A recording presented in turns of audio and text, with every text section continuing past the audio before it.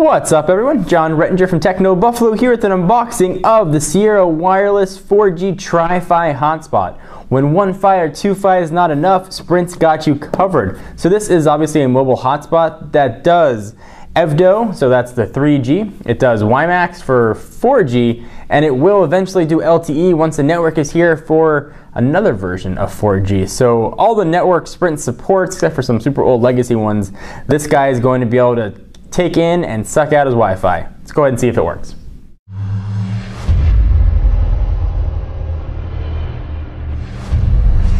All right, so here's the box. Typical sort of new Sprint packaging, very uh, environmentally friendly. It's available now, 99 bucks with a two-year contract, or 349 bucks if you want to buy it just outright. Go ahead and take off the lid. Boom! It's been delidded. Uh, here is the Tri-Fi hotspot. Pretty decently sized. We'll see. I'm curious if there's a SIM card in here actually for um, for LTE, even though Sprint doesn't have uh, their network on yet. See what else we're gonna have? Get started. All you need to know to get started we don't need to read that. Who reads manuals anymore? Um, we've got just an absolutely gargantuan battery, which also looks like it serves as the back. Uh, this is a 3600 milliamp hour battery. Uh, it's going to be good for eight hours of use or eight weeks of standby. Thing is giant. Imagine putting that thing into a phone. I think it'd be a brick. Um, but you'd definitely be able to get through a full day. Uh, let's see what else we're to have in the box. We've got, looks like the back. So we're to have a hump back for this. Get it? Like a whale. Uh, and then we've got the power cable, which is just a little brick, and it's of the micro uh, USB variety, so pretty standard there. And Sprint's always really good about including bags for recycling devices. If you throw your old cell phones or batteries in the garbage, they go to landfills, and the battery juice, um, won't get all technical, can, uh, can leak out. I know battery juice isn't real. Don't leave it in the comments. Um, all right, so let's go ahead and take a look at this guy. So here it is.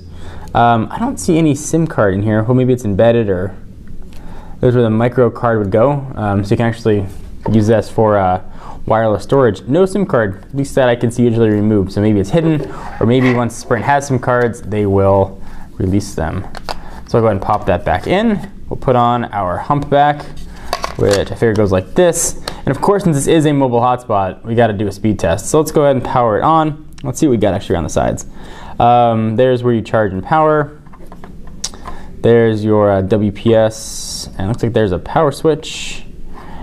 And that's about it. This is sort of a soft touch feel to it. Um, this is not a little device in the world of hotspots. This is a large device in the world of hotspots. But if you need something that's going to work on pretty much every network that uh, a particular carrier offers, in this case Sprint, uh, it's going to be a good option for you. Uh, there is an LCD screen there, but unfortunately we don't have enough power to turn that on. So I'm going to go ahead plug this guy in, juice it up, and um, see if we can get some speed tests. We'll be back in just a minute.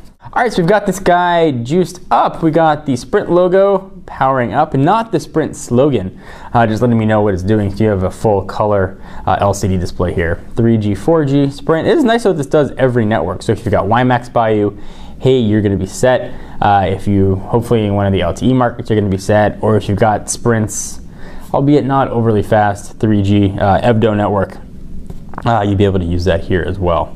So 4G LTE Tri-Fi hotspot, it's booting up. I know it's booting up because it's playing a game of Snake with itself and it keeps losing. Go, go, go, go up! And it just keeps uh, losing. So let this guy boot up. Uh, we'll test speeds here in just a moment. Battery this big, you figure it's got plenty of juice left in it, right? Can you imagine putting that in a phone? It's dying actually. Oh, it's about Power save. Yeah, no, it's fine. 4G network's not found. Press start to search. All right, so 4G network's not found. Press start to search or press power to search. Searching for 4G LTE network. So there must be a SIM card in there, uh, but it's not going to find 4G LTE because Sprint don't have it yet. I know, it's not found. Let's go ahead and take it out of power save mode. I think that's maybe what that is. So perhaps that's why you should read the instructions. Uh, there we go. So I found something. Uh, reporting update status to server. Press to cancel. So showing 4G, so it's probably pulling in WiMAX. We do have WiMAX here in Southern California, which is where I'm at.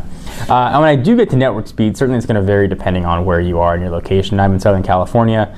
Depending on the time of day, whether or not there are clouds, how many people are on your network, what the network feels like, whether or not you had a healthy breakfast, and all kinds of stuff that obviously come with the caveats of doing network speed tests. So keep that in mind. I always see it in the comments down below. Well, I get X and O speeds, so you're wrong and have a dumb face.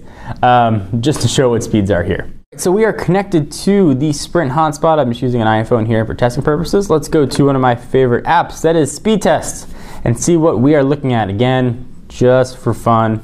Uh, it does say we're connected um, over 4G there, and that is WiMAX. So let's see how quick that's going to work. Uh, you can configure the network name and the password as well. Uh, we just go to Sprint hotspot and go through a few settings. It's pretty easy to do. And we are getting pretty decent WiMAX speeds actually. Pretty decent 4G speeds uh, overall. So 5 megabits down and looks like we'll probably get 1-ish up. Uh, the 5 down is pretty comparable with actually uh, LTE speeds um, around here in Southern California. The up's a little bit slower. Usually we get about 1 to 2 up, but certainly serviceable. So this is a awesome. Maybe I'm going to eat a little bit of crow. Surprisingly, a useful device here uh, with WiMAX. And once Sprint gets LTE, uh, perhaps this might be a good device to carry around uh, in your bag. So whether or not this is going to be worth it for you, you know, you're going to have to decide. It definitely comes in at a relatively reasonable price point, 99 bucks, or you just buy it outright at 349, use it for as long as you want, sell it, uh, and pay your data month to month. Um, that's an option as well. Certainly, though, I probably recommend waiting until uh, LTE comes to you before you pick one of these bad boys up. Uh, anyway, guys, I'm Jon Rettinger from Techno Buffalo, and I will see you in the next video. Bye bye.